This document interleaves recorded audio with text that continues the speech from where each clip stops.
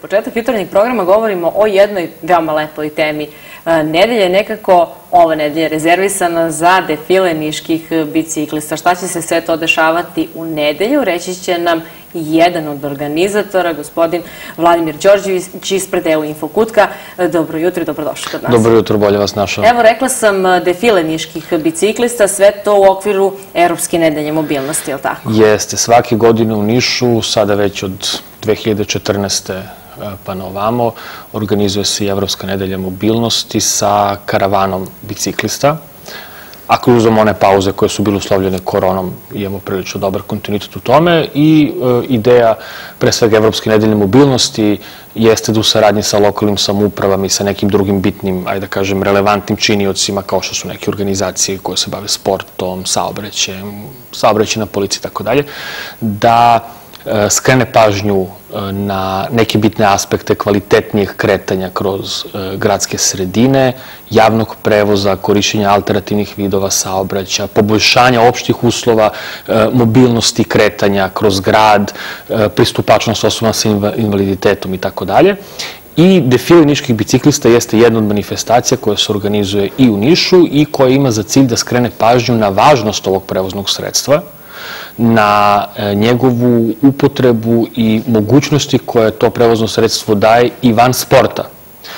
I mi znamo da zaista mnogi naši sugrađani i sugrađanki koriste bicikl za svoje svakodnevne poslove, a to nije samo dobro za njihovo zdravlje, što svakako jeste, nego je dobro i za e, životnu sredinu, a takođe je dobro i, i za ekonomiju. Za ekonomiju, tako je, tako je, tako je.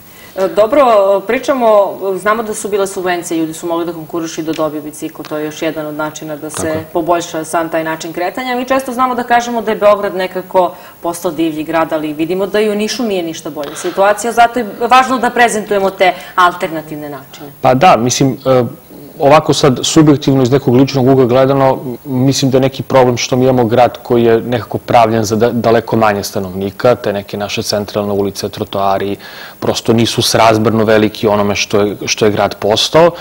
Tu se izuzimaju bulevari koji su pravljeni 80-ih i nadalje. To je potpuno jasno vidljivo i kroz saobraćaj, i kroz pristupačnost trotoara i parking mesta i tako dalje.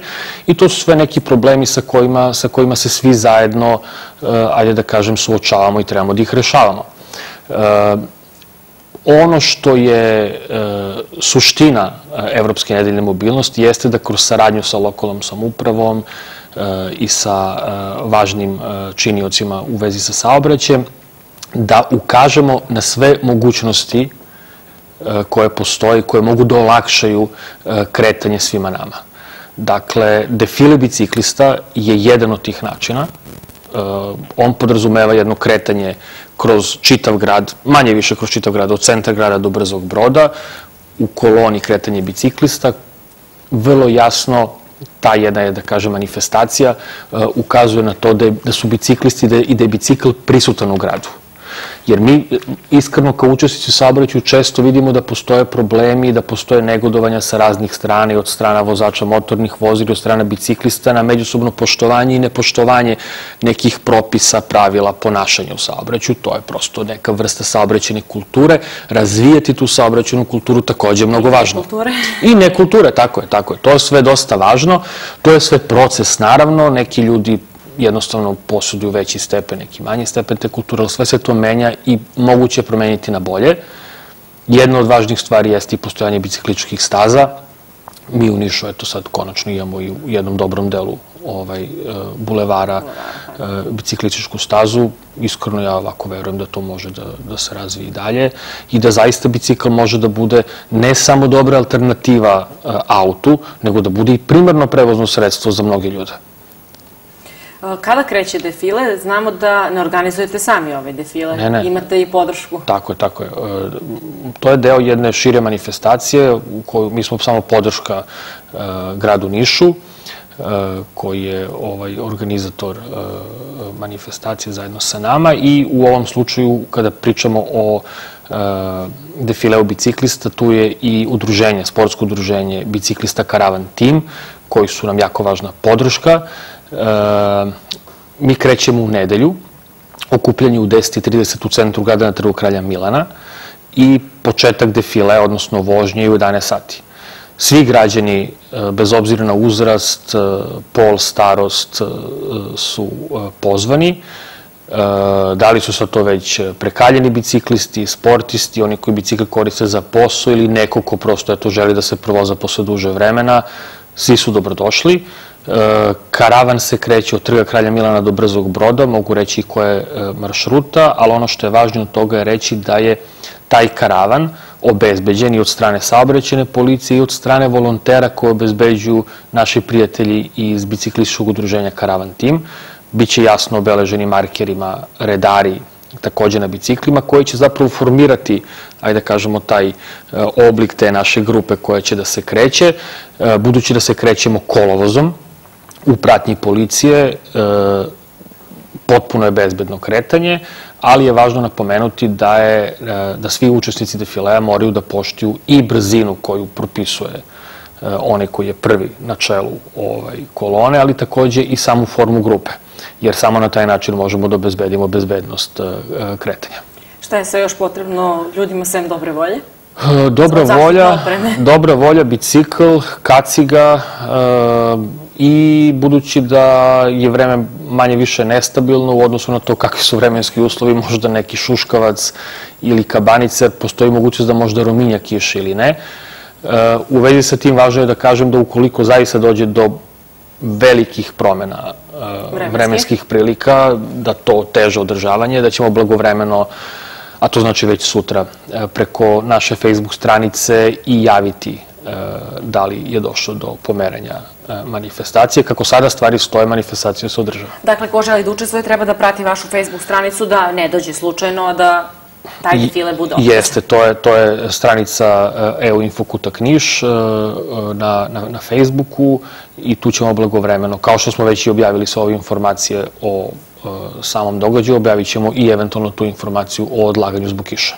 I hajde da kažemo, u ranijih godina smo viđali i najmlađe i moramo da kažemo da deca treba da dođu uz pratnju roditelja. Jeste, to je takođe jako važno. Svi, e, sva deca koja su mlađe od 12 godina, e, neophodno da budu u prisustvu u pratnji roditelja ili staratelja. E, to jeste nešto što se već na odreći način podrazumeva, ali hvala, to je jako važna, važna napomena, da pričamo o biciklistima i stalno kažemo da trebamo da koristimo bicikl kao prevozno e, sredstvo, ali se stalno e, proteže to pitanje koliko su oni bezbedni u saobraćaju i da li možda razmišljate da radite na tu temu zato što vidimo da ljudi baš, ovi vozači automobile, ne poštuju mnogo bicikliste? Pa mi imamo, da, definitivno postoji, e, kao što vidimo, mislim svaki dan svi čitamo vesti pa vidimo da svako malo ima neki incident.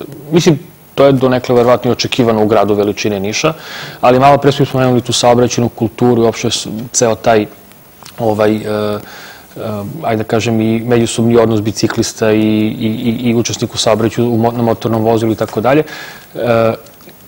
Grad Niš ima u ovom trenutku jednu jako uh, bitnu anketu koju sprovodi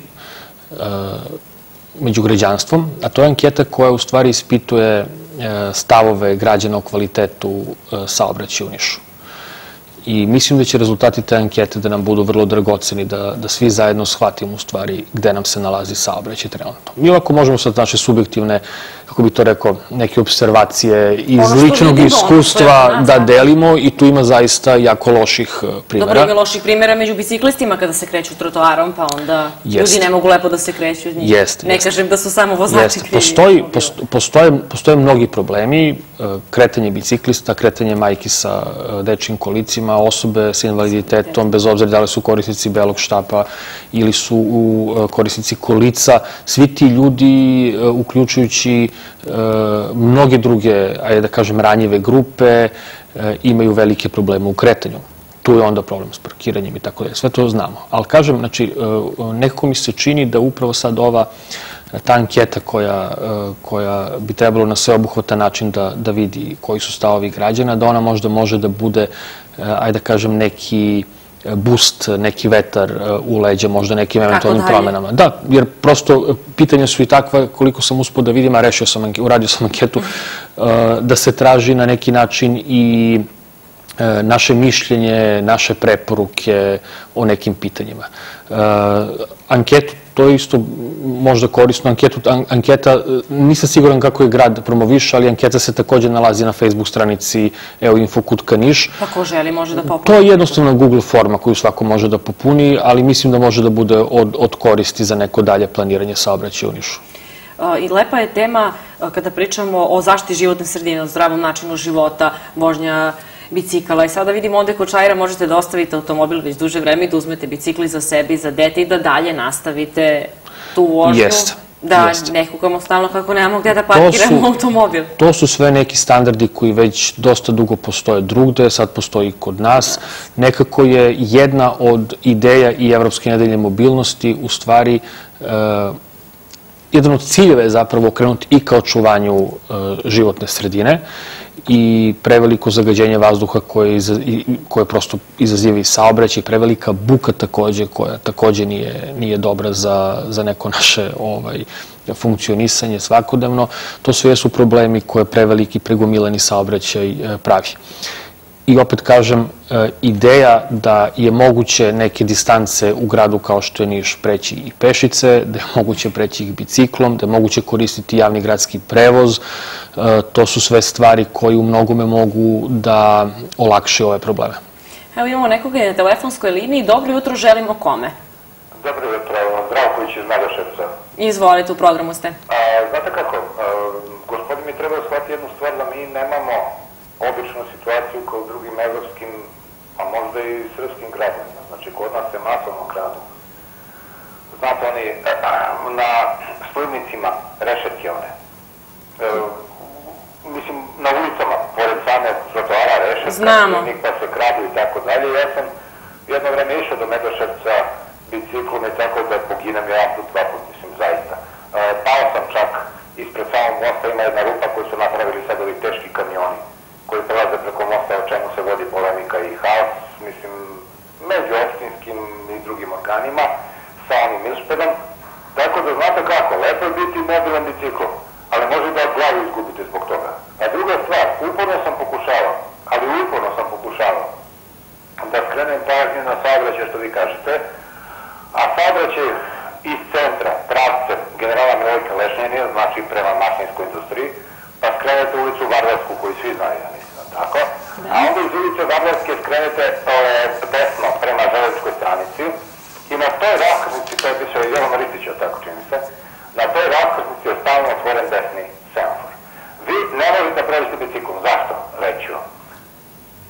Neko ko je razmatrao pomeranje autobuskog stajališta je pomerio kod starog Feroxa, znate da je napravio pumpnu stanicu, tako, benzinsku pumpu Lukoila, pomerio unazad stanicu i samim tim totalno e, napravio haos u saobraćaju u odnosu na projekat koji je do tada postojao.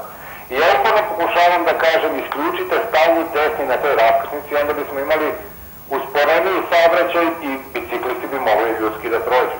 Međutim, čim izađete s raskrsnice desno, nalećete na autobuse, nalećete na sve i svašta, ljudi tu mora da stanu, to je stanica, tako.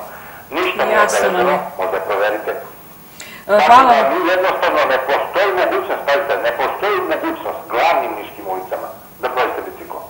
Sem ako nema biciklističke staze, a biciklističke staze nema svugda, mora da priznate, tako da je izlišno pričati o nedelji mobilnosti biciklom i tim stvarima, ako nemate uslov da zaključate biciklu, da bude zaštićena i da prođete biciklom. To je izuzetno. Pazite, možda vi prođete biciklom da probate zakon od koga ja ispiti. Ma šta mene drugo da me štiti zakon kad me neko udari, šta se rekao? Hvala vam puno na uključenju, evo, da, ima logike. Da, da, mislim, Sugođenin je podelio manje više neka zapaženja koje svi mi imamo. Sad, jedan ve, veći deo pitanja je zapravo za neko ko je... Za neko ko je nadležan za, nadležan za tako nešto. Ali ono, za infrastrukturu. Tako je, ali ono, ono što ja mogu da kažem to je da, da je ideja svega ovoga što mi radimo upravo, upravo to.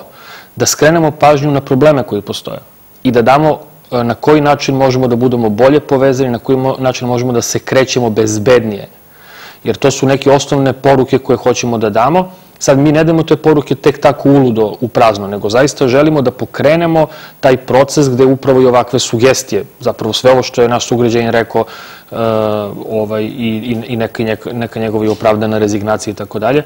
Sve su to stvari koje, koje mogu sada da se iskomuniciraju i dalje i preko malo prepomenute ankete koju sam, koju sam a ideje i ove naše evropske, nedelje evropske mobilnosti i manifestacije ovaj, sa, bicikli, sa, biciklistima koji će voziti od, Niša do, od centra Niša do Brzog broda, upravo jeste i ta da pokažemo i da skrenemo pažnju da biciklisti postoje, da su tu, da možemo da govorimo o problema koje kretanje biciklom uh, ima, ima ovaj, u, našem, u našem gradu i da svi zajedno u nekom daljem periodu popravimo uh, te uslove za, za kretanje, a ruku na srce, to da već sad imamo i biciklističku stazu, da na puno mesta imamo i parkiralište za bicikle, da je moguće iznajmiti biciklu, već su neki pozitivni pomaci. I ima zaista još dosta stvari uh, koje treba uraditi i povećati verovatno i bicikličku stazu. Ja se nadam da je to u planu, ja to ne mogu da znam, ali prosto kao građani bi to volao da je tako. I ono što, što mi sad radimo upravo jeste ta poruka. Dajte nam još bicikličkih staza, dajte nam još mesta za parkiranje, uh, jednostavno... mogli da koristimo. Jednostavno, jednostavno uh, jako deluje kao neki, ajde da kažem, uh, proizvod iz daleke prošlosti, što jeste. Bicikli i dalje najekonomičnije i uh, najpristupačnije prevozno sredstvo. Svako sa malo uh, talenta ka nekom, svako koji, što bi rekao naš narod, makar malo majstoričan, može na putu da uzme i da popravi da neki manji kvar na svom, na svom biciklu. To je velika prednost uh, takvog uh, prevoznog sredstva, između ostalog. Vladimire, hvala vam puno na gostovanju. Hvala vam. Još da pozovemo sve, defile kreće u 11 sati u nedelju. 10.30 okupljanje, 11 krećemo, vozimo se od centra Niša od Trga Kralja Milana do uh, Brzog broda, terena za futbal, odnosno prostora iza terena da, OFK Brzi brod. I nadamo se da će vreme da nas posluži. ja se nadam. A onda kada budete došli naredni put, pričamo o svim uh, planovima koje imate, koji su vezani za info kutaka. Čula sam da se nešto mnogo lepo sprema u vašoj kuhinji da, tamo. Da, hvala. hvala vam puno.